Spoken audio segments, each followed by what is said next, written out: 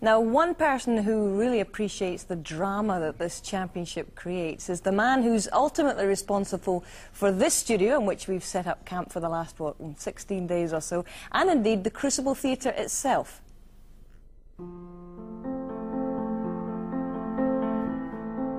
Sheffield has a very justified sense of civic pride about its theatre. We're nationally famous for all the right reasons and beginning to be known internationally. We're really on the map now. Sheffield likes its stars and it likes its quality. And I aim to provide both of those. Made in Sheffield.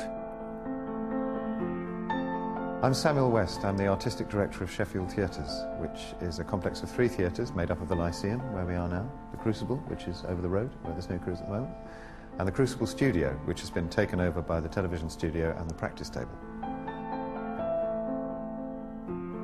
Both my parents are actors, Prunella Scales and Timothy West, and I first saw them on stage when I was about six, so I got very blasé about wandering around theatre. They didn't really get the magic back until I started doing it professionally, which was after I left university.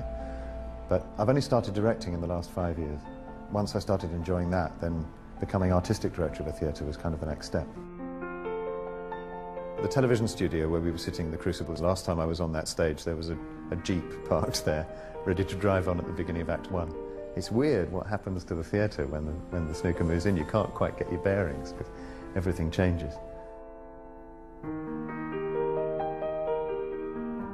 Well, one of the things that people don't see is the preparations for the snooker, which are fascinating. The floor gets lowered because it improves the camera angle.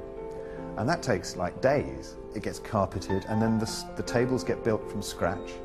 So they bring them in, and then, you know, enormous five pieces of slate get laid on each table, and then they get covered, and, and the cushions get brought in. I mean, it's great theatre. We should sell tickets for that. So one of the things I've got it in my head to do is commission a play about the World Snooker Championship. Maybe one year we can persuade the sponsors to leave their set behind and we'll go in and make theatre on it. I decide what we put on for the 49 weeks when the snooker isn't on. We do mostly our own shows in the Crucible and we mostly receive shows in the Lyceum. This week we've got a touring production of Cats. Out there every night there's 2,000 people, you know, either going to the snooker or coming to one of our other theatres. It's fantastic. One of the things we do really well is we keep it cheap. We have public dress rehearsals here on the first day of our show, which are a pound. Um, and there are people who go only to those. You can see our entire season for nine pounds. And people dress up and bring their friends, and they're amazing occasions.